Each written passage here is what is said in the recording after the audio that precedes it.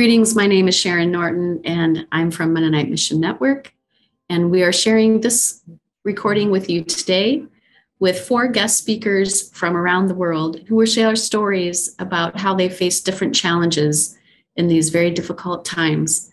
Not only did we have the COVID pandemic, which affect all of us around the world, but there were many countries that face special challenges, war in Ukraine, poverty, lack of access to internet and infrastructure, and on and on. So, we want to share some stories from our friends and from our partners who will hopefully inspire you in your own collaboration and networking. First, we'll have John Fumana of African Inter Mennonite Mission. He will share about how COVID affected Mennonites in the Democratic Republic of Congo and what it has meant for them when they were able to get some substantial help to build infrastructure for IT so that they could participate in multinational meetings and conferences and different things, different ministries of the church. And you'll hear him talk about how the global Anabaptist family has become like a small village because of this.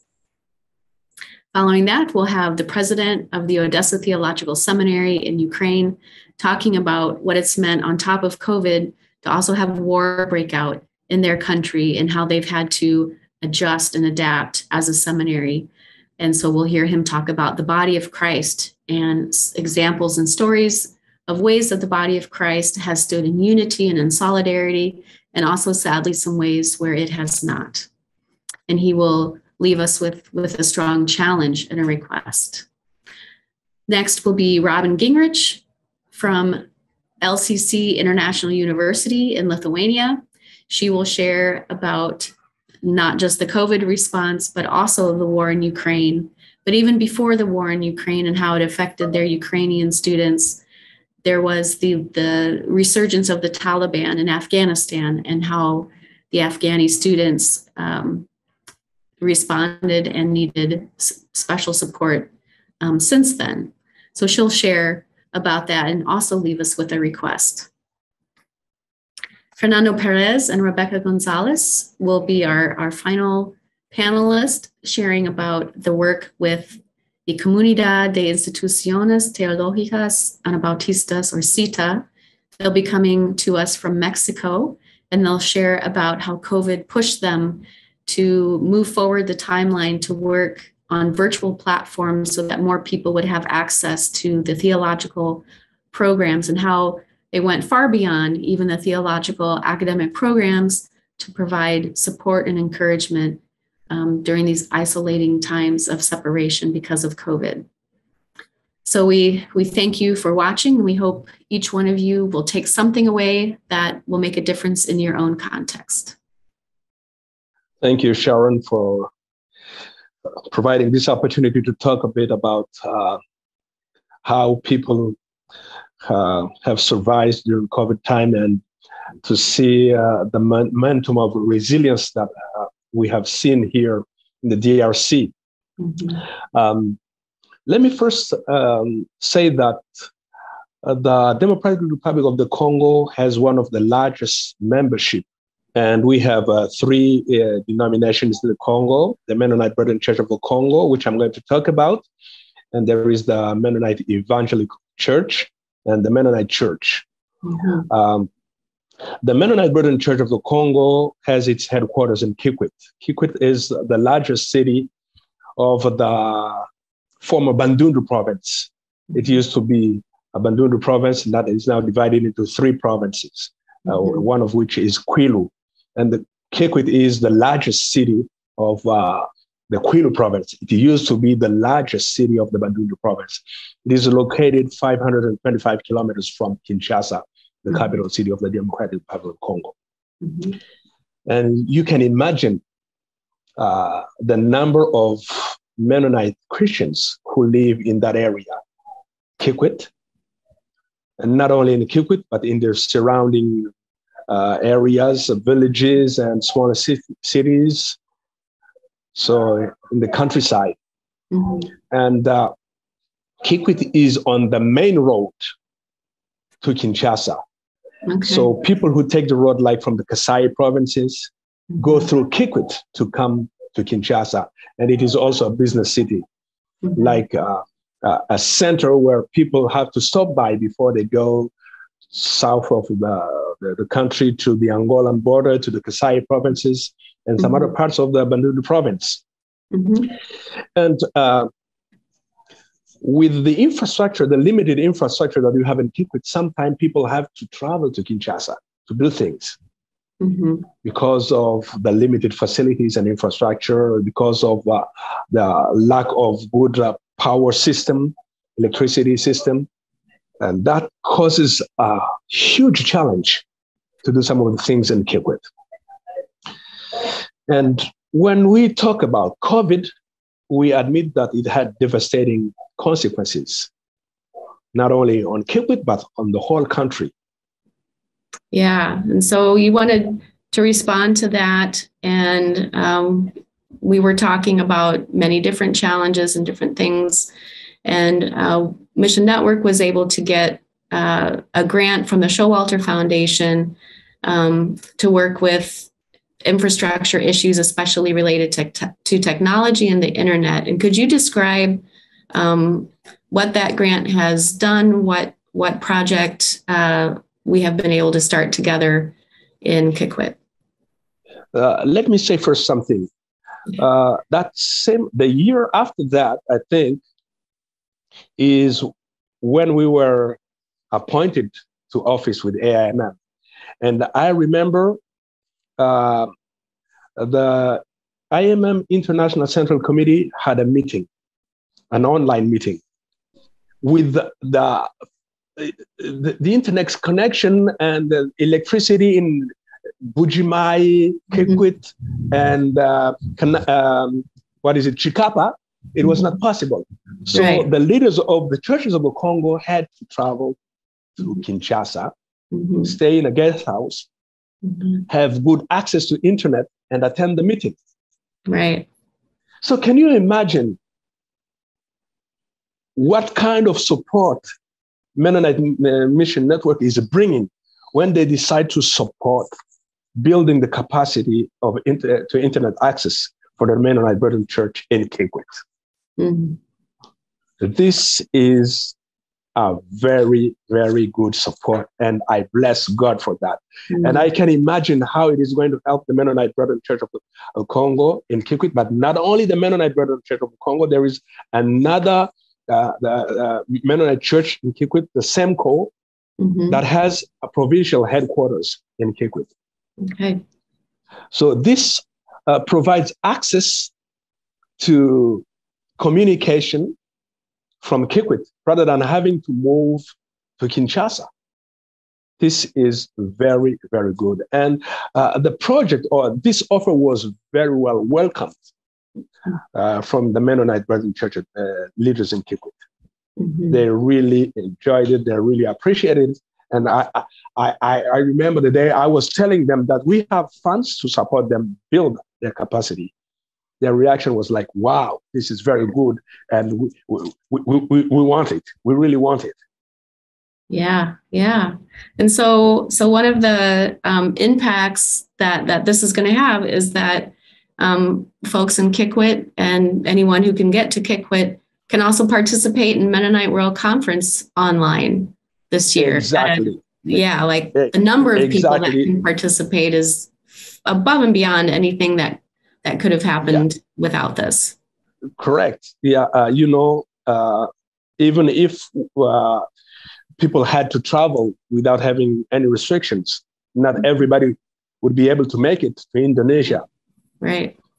Um, economics, uh, visas, uh, COVID restrictions, mm-hmm. uh, the number of delegates. But right. Uh, this offers an opportunity for more people to be able to attend the Mennonite World Conference gathering, the assembly, uh, to be held in uh, July in Indonesia from Cape without having to, to travel.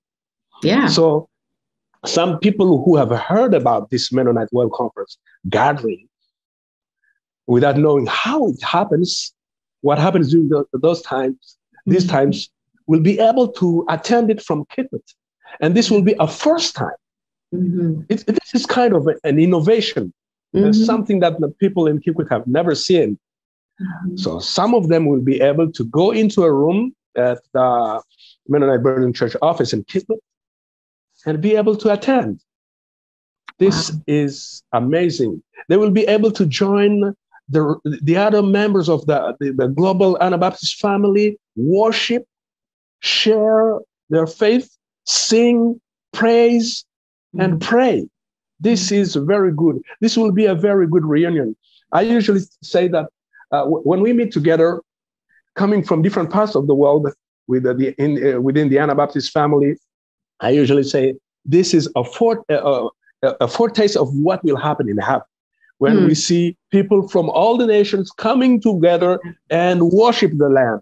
So this mm-hmm. time, the people in Kikwit will have an opportunity to live it.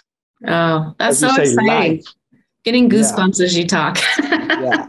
it is. It's a wonderful opportunity. I'm so glad that we could collaborate mm-hmm. in this way together. And so I just mm-hmm. want to give greetings also to all those in Kikwit who, yeah. who are watching this video and who are participating in the Mennonite World Conference. We stand with you. And mm-hmm. we're grateful for the generosity also of the Showalter Foundation. I'm just struck by right. how collaboration yeah. works. You yeah. know, it's we have a resource here, we have a mm-hmm. relationship with you, you have a relationship with churches in the Congo. And you know all of these different pieces kind of fitting together and it's all for the the glory of god and for the work of the reign of god. So praise be to the lord for for this opportunity. Yeah, amen. Amen. And this is a sign of resilience during this time of covid. You can you imagine how people have been able to uh, show creativity at this time we cannot move together we cannot gather we cannot meet face to face what do we do? Mm-hmm. Mm-hmm. This is this is really amazing, and yeah. we see uh, the, uh, the, the spirit of God leading this mm-hmm. to say we are not going to stop spread the gospel because of COVID. Mm-hmm. So God has His ways, and as the Bible That's says, right. God's ways are not our ways. Yeah, yeah. That's God right. is so powerful that He can make the impossible become possible. Amen. He can open doors that we human beings cannot open. Amen. He can uh, make paths where people cannot walk. This is this is only God's power and the power of the Holy Spirit. That kind of creativity. Amen. That's right. Yep, I I'm with you on that. Mm-hmm. Thank God for the Holy Spirit that empowers us every single day and that leads us yeah. and guides us and makes all yeah. these things possible that that we couldn't have seen the way. Well, thank you so much, John. It was a pleasure to interview you, and we pray that this this video will be a blessing to many as they watch it. Okay, God bless you, and thank many thanks to Mennonite Mission Network and also to Showalter Foundation for this donation. It not only brings internet access, but also increase the capacity because we also uh, provided, uh, we're able to purchase a solar backup, which mm. solved the problem of uh, electricity shortage. Wow in case they have to uh, or uh, plan a meeting. That's fantastic. Yeah. Okay. okay. All right. Thank you, John. Okay. Okay. Bye bye. Greetings, friends. This is Sharon Norton from Mennonite Mission Network, and today I'm talking with Dr. Oleksandr Geychenko from Ukraine. He's the president of the Odessa Theological Seminary. And as we all know, uh, there's war in Ukraine, and that has completely changed life changed the ministry, changed the school, changed everything. So, Dr. Geychenko, I'm very happy that you're taking some time. Um, I know that you have tremendous challenges that you're dealing with. So, I'm very thankful that, that you're willing to speak with us today about what's happening um, with you and with the, the seminary and broadly, more broadly in Ukraine. So, could you just um, describe for us a little bit what your context is and what your situation and with the seminary, what the situation is for you. Uh, hello, uh, greetings, brothers and sisters from Ukraine. Uh, thank you, Sharon, for this opportunity to share about my experience and uh, what is happening with the theological uh, educational institutions and churches in Ukraine. And uh, at the moment, my colleagues and I, we are uh, spread all over Ukraine, and some of our faculty members and employees are abroad in Germany, in uh, Moldova. And uh, as a school, we are still working. We working uh, as a distributed office, so we meet regularly with my colleagues, and we also continue um, uh, educational academic sessions with our students uh, through online uh, program.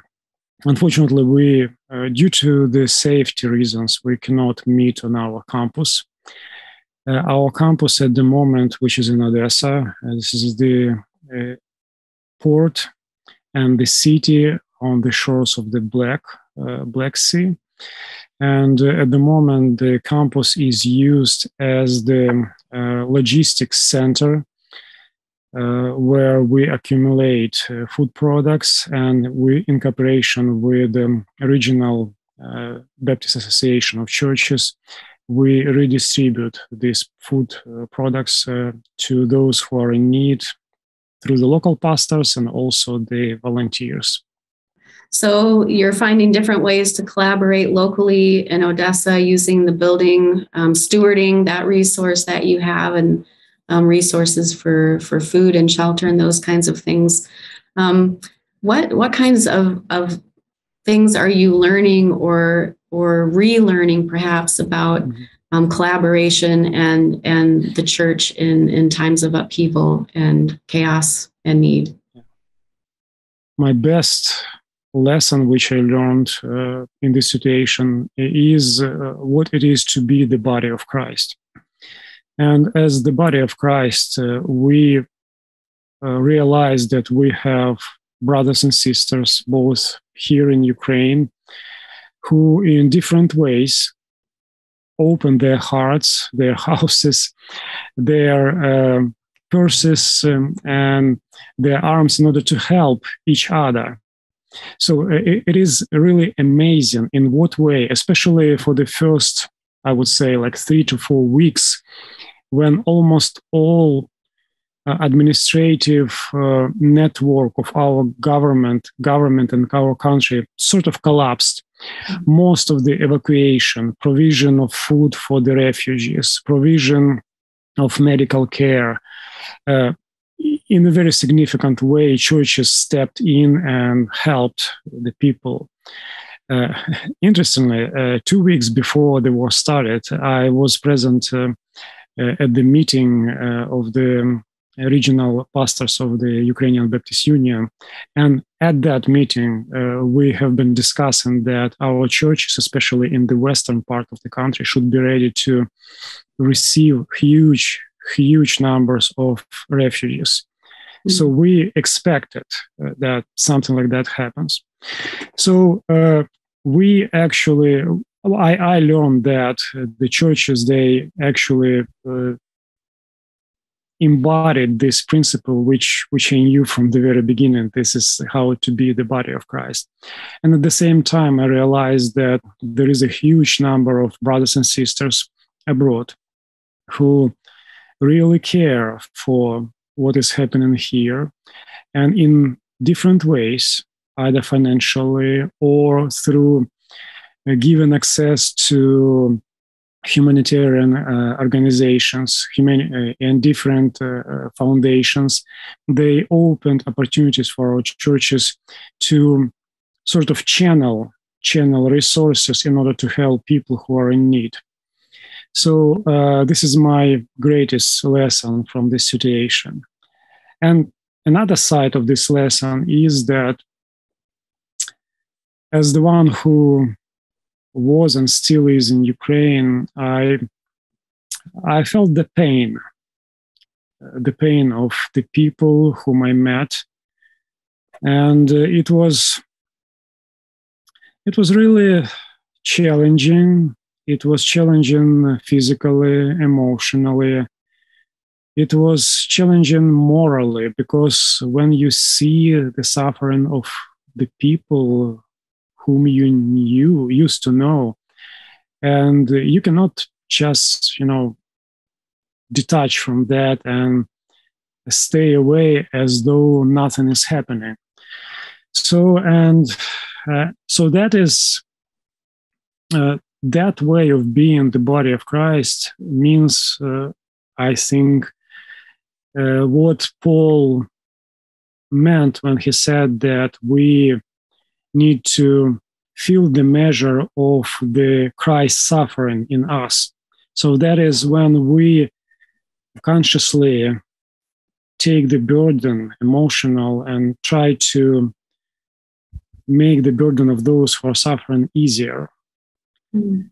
Uh, and and this is probably the hardest, the hardest part because you know uh, you uh, you have that compassion, but at some point uh, the measure of your capacity is sort of ex- exhausted, and it is very easy to to be uh, broken at that point. point, and and it is exactly at that moment when other brothers and sisters, with their support, prayers, with their encouragement, they step in and they sort of unload your burden and you feel refreshment and again you know you you renew your resources and you you can continue that way again so that's those are different aspects of being the body of christ Right. Yeah. So I appreciate that that that story um, and that you are receiving the pain and the suffering even as you um, have your own losses and things to mourn. Um, but yeah, I think I think in English we have this term called compassion fatigue, and it is acknowledging that that there's only so much um, capacity we have, but but exactly the the Lord comforts us and the, the body of Christ comforts us as well. So, um, Dr. Geychenko, you've also shared in other places that not all the, the body of Christ is functioning in, in unity and in unison um, and in solidarity with the people of Ukraine. Can you talk a little bit about that? Yeah, uh, well, the reality of the body of Christ is that um, this is a community well, of course, we know there is an invisible body of Christ, uh, the saints who lived before us and who are perfect and they're in front of the throne of God. But at the same time, there is a certain amount of people who confess Christ and who live here and now on, on earth. So, and I learned that this body of Christ is not really perfect uh, in a sense that there are brothers and sisters uh, who see and experience things very much different than we who live in Ukraine uh, do that. So I'm I'm talking about my brothers and sisters from Russia.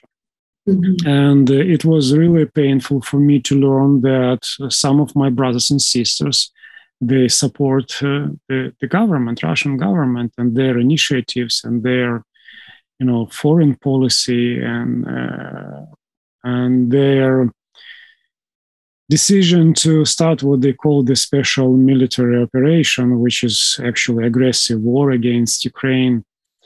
And uh, again, uh, uh, with this realization comes the pain that you realize that you have brothers and sisters who confess Christ the same way as you do, but at the same time, their allegiance uh, and their yeah their allegiance to their country, I could be wrong. I'm I'm sorry, is more uh, important for them than their sense of unity with their brothers and sisters who are suffering here and now so that was that was a really painful uh, painful experience on my side uh, i still hope and i still pray that uh, these brothers and sisters uh, are enlightened by the power of the holy spirit and they realize what are the consequences of uh, of the actions of their government and they uh, choose to identify with the victims of this war and also take the responsibility for making first steps to reconciliation. And if you had uh, one thing, one request that you could make of those uh, watching this video now, what would it be? Uh, you know, uh, brothers and sisters, we live um, in the times uh, when media set the agenda. And this agenda changes very quickly. And unfortunately, we sort of are led by the, uh, those changes. And I would challenge you uh, not to be subject of these uh, uh, these instruments of manipulation and change of the agenda. Remember about your brothers and sisters, regardless of what you hear in the news, whether you hear about Ukraine or Burma or some other countries where Indonesia, where people are suffering, your brothers and sisters in Christ. Uh, you, you know, the media can keep silence about Uganda, about um, other countries, but that suffering, those, you know, hard circumstances, they're still still there. So take intentional steps to get information. Be active in prayer and try to do what you can in order to attract attention of other people who can change this situation for positive. That's that is my challenge and my uh, my plea to you.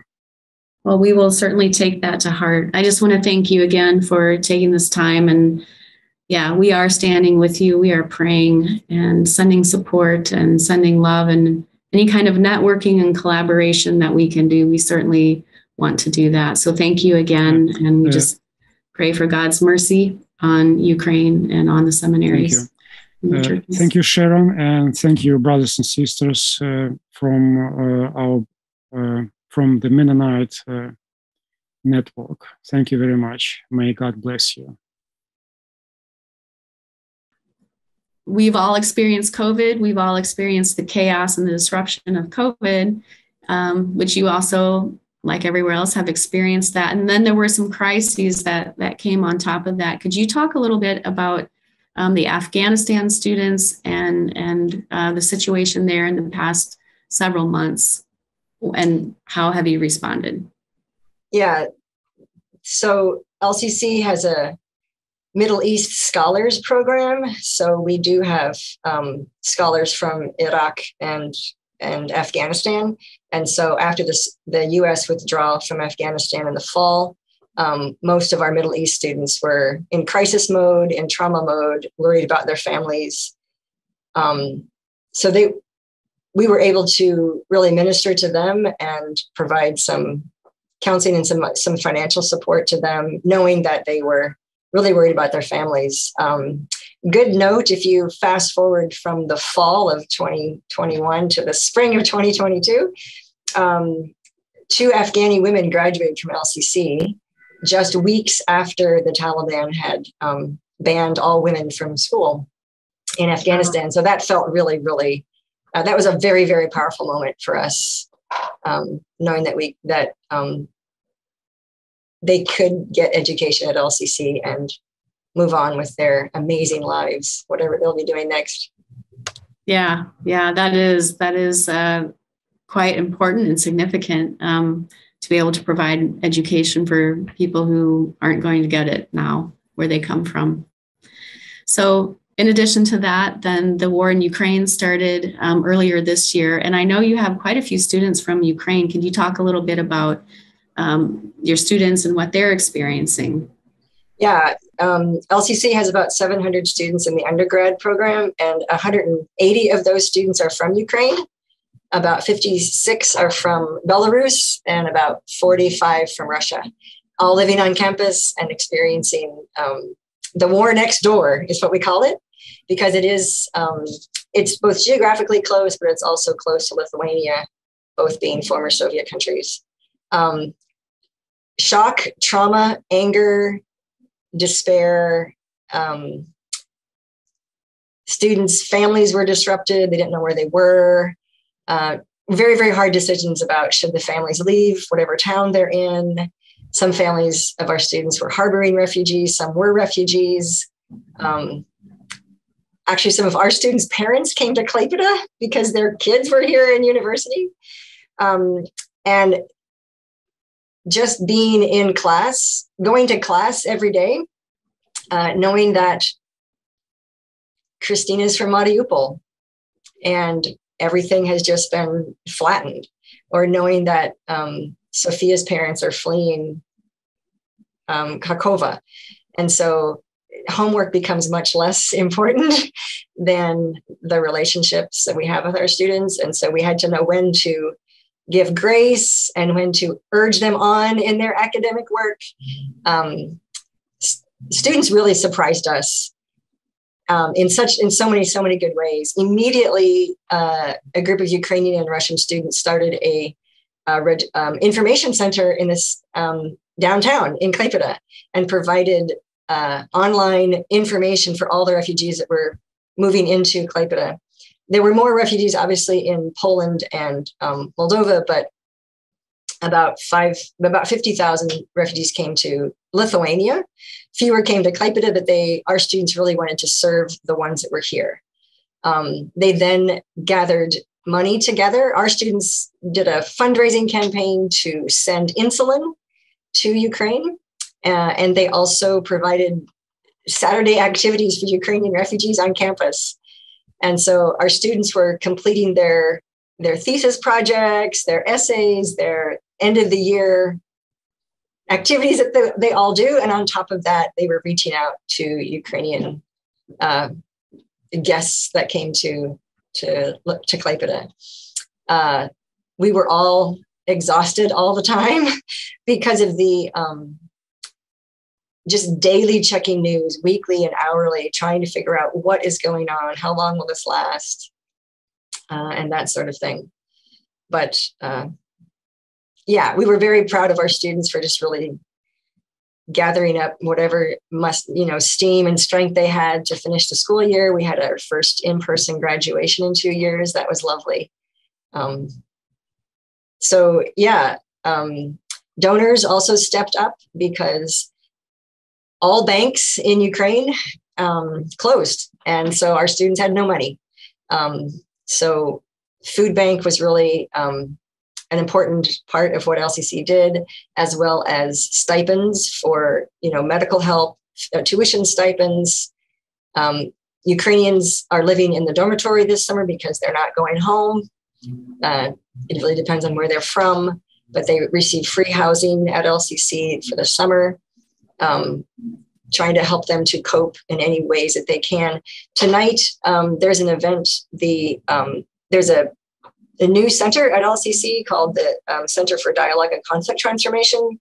They're hosting a listening circle tonight, and they've done this before, where they just invite any of the Ukrainian students to come and talk and just be there as support for them emotionally.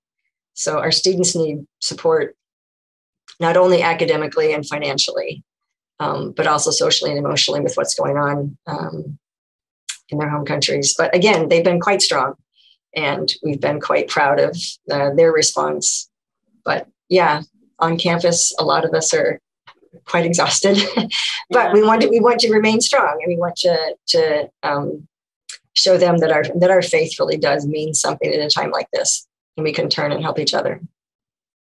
Yeah, wow, that's incredible! All the things um, that that students are doing just out of their own initiative, on top of all of the demands of the academics, uh, yeah, it, it's beautiful to see that that resilience, that hope that drives people.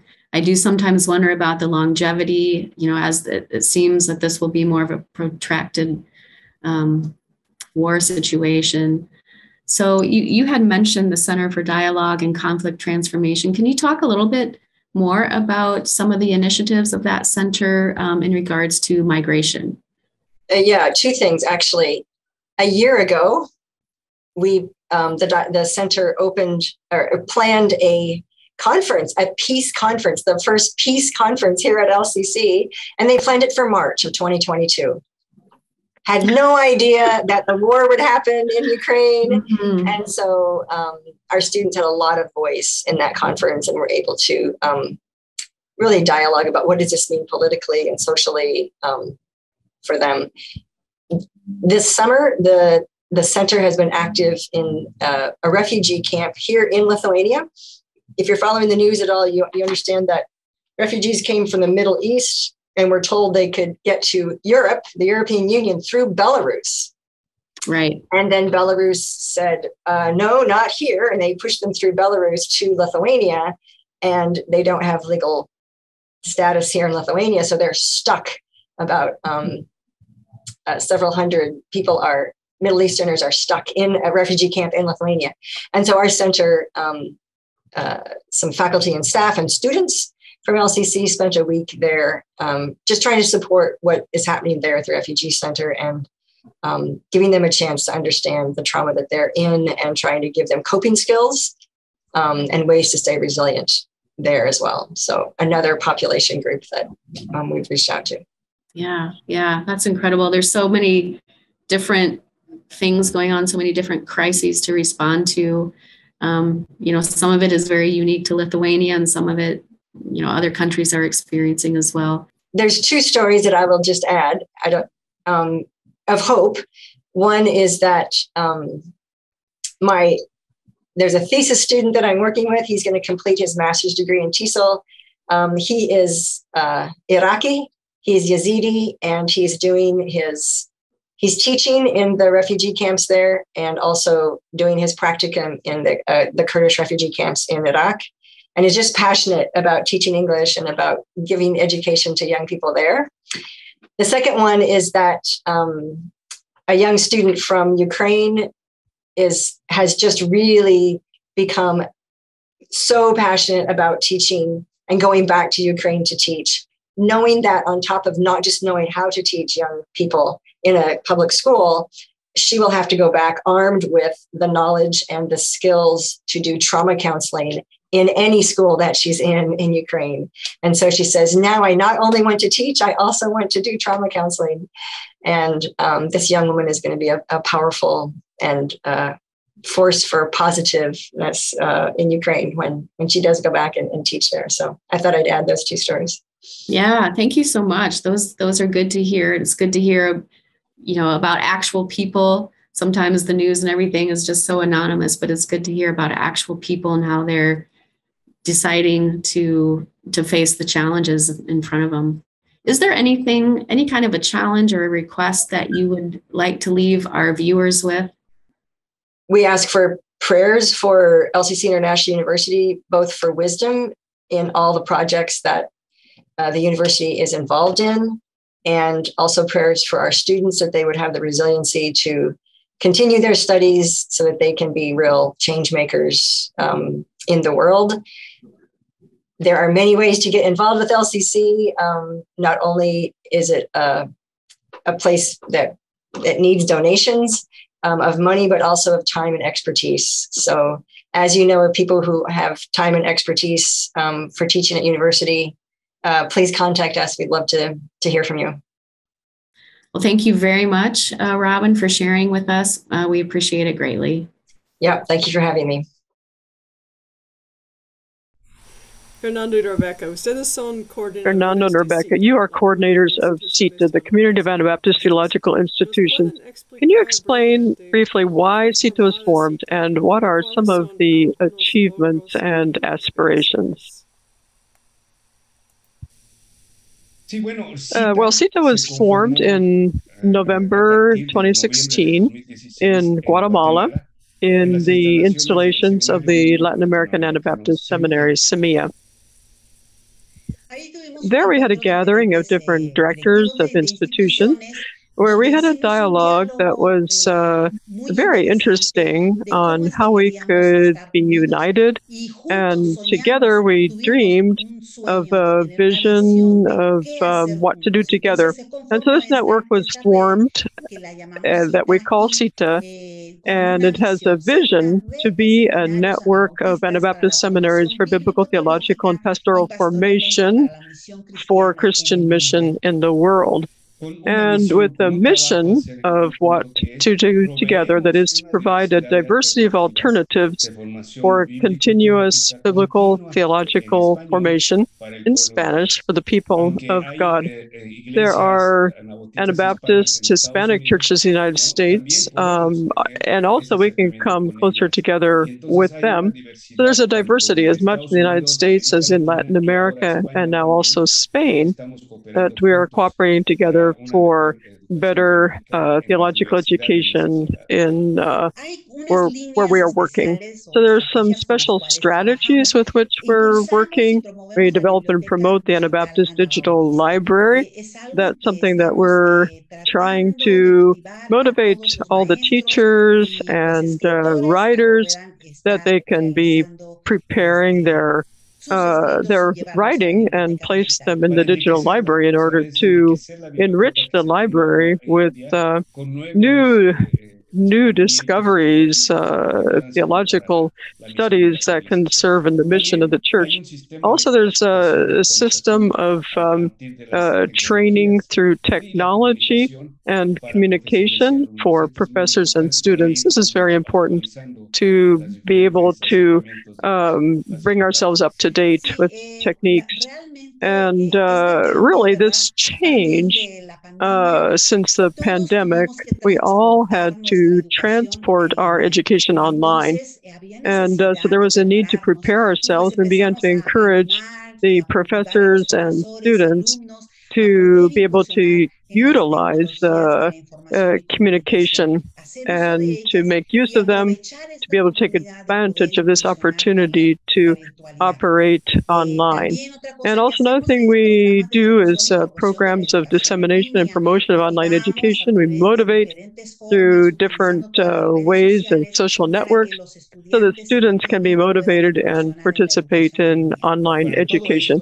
And with all this, we need the cooperation of the institutions and the development of new projects. And we motivate the different institutions so that they can have spaces of dialogue and uh, also to reach agreements for mutual cooperation. So this is what we're doing now in uh, CITA. Yes, the students have uh, had a lot of enthusiasm in online education and given the opportunity to be able to come closer together, to be able to create intercultural spaces, to be able to reach um, places that we could, well, at least imagine, where people can have access in an easier way uh, for theological education.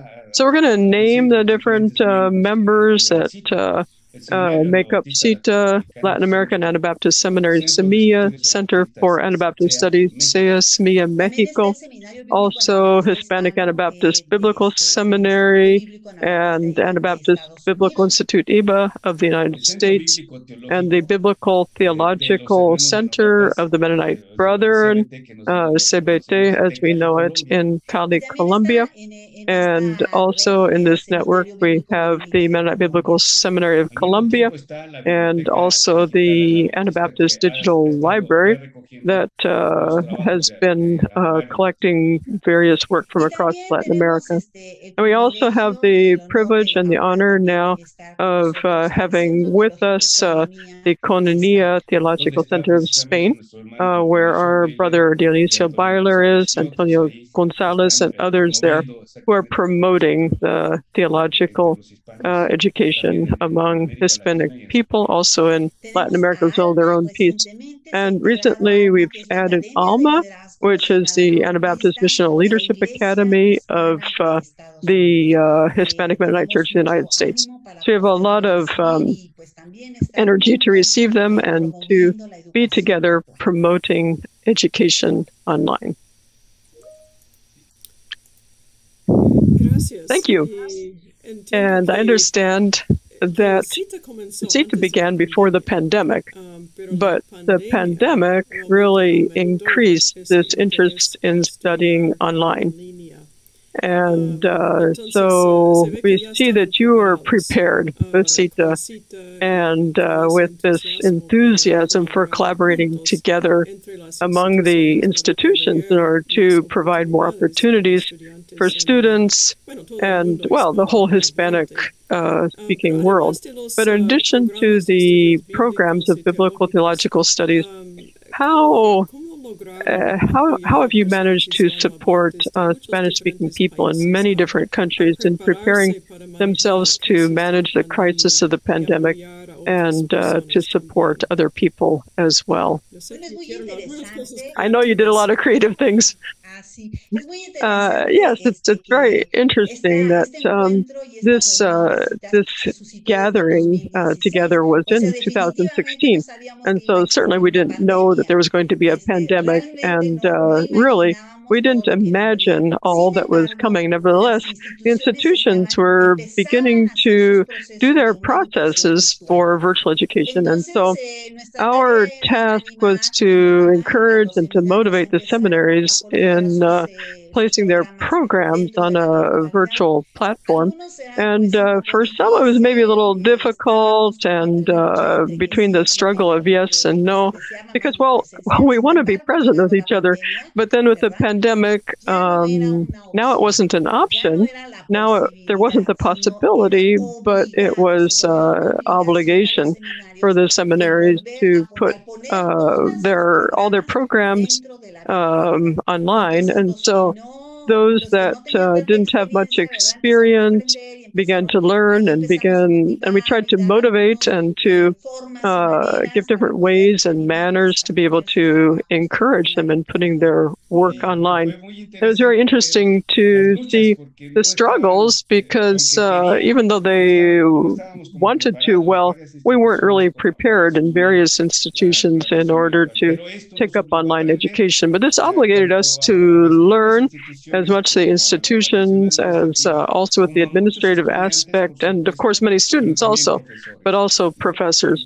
And so it was like a, a kind of kind of experience that resulted in a lot of work because for one thing to learn the new technologies the pedagogical process and at the same time how to do it so that all of the students could learn uh, through online education in biblical theological education. So it was very interesting. Um, now, today, there are more possibilities. Uh, there's more experience uh, than at the beginning, as much the students as professors and administrators. So this has given a great opening. Uh, now in Latin America, we have biblical theological education online. We had the opportunity to also accompany people, many people who maybe called us to say, Oh, I want to study, but how do I do this? Um, I don't have a computer, or I don't have this, or I don't know how to do it. I don't know how to enter into Zoom. Um, all these small details that now seem to be the most simple. In their own moment, it was very difficult. And uh, so we oriented uh, people with simple details, like in, in WhatsApp, through WhatsApp. Let's send messages and uh, let's uh, place a class there in WhatsApp so that people can be preparing. And uh, so we did this part of motivating as much with the students, uh, many students, and also orienting them, orienting professors, uh, encouraging the institutions uh, so that uh, we can be creative in the use of technology, because really technology is a tool that has come to stay. And it's definitely something that when the pandemic passes and uh, we're not going back to how things were before, no, but rather we're using technology that is something that is creating a change in our minds because it's a change um, that a change of models in education. And uh, now education is a, a, community model because it is uh, coming and going that uh, it's not the professor teaching the students, but now the students are working together in a community way in order to learn and to teach. And so everything is changing, and uh, we're not going backward. So uh, the pandemic can end, more pandemics can come, but education changes. And now in this way of learning that is so community minded, it uh, permits us to listen to each other, to encourage each other, so that participation be for, for everyone. There's really no limit of space and time because really, really, we can reach people with the uh, simplest level of education, and they can reach it with a simple WhatsApp. They can access education. This has been a, a very important thing that has motivated all generations. And this is the challenge that we have now with the new generations. Yeah, certainly, and one of the important things that Rebeca said, and in response to your question, is exactly um, this last question you asked: is the virtual questions created dialogues uh, as much in WhatsApp as in Zoom for various subjects in different countries. Um, uh, about issues of uh, mental health and uh, uh, logotherapy and psychology. And so this has created dialogues that have um, given like a, a, a space of peace uh, space of uh, relaxation. And this has been a big blessing for many brothers and sisters. And so, uh, yes, it has been a virtual space uh, where we're far away and yet at the same time close together. We've created a community a concept of uh, healing through the courses, through the dialogues, through uh, the WhatsApp messages and requesting prayer or saying I can't be in class. So there's there's something there that continues to motivate in continuing forward. So it's been uh, a holistic question here uh, with virtuality. And so yes, um, virtual education is very important in a positive way, and it's it's it's community uh, focused and that gives a lot of results, not just now, but also in the future. But if we see it as a personal, individualistic thing, well, then it's going to result in the contrary. And uh, but we want this space to grow together. Um,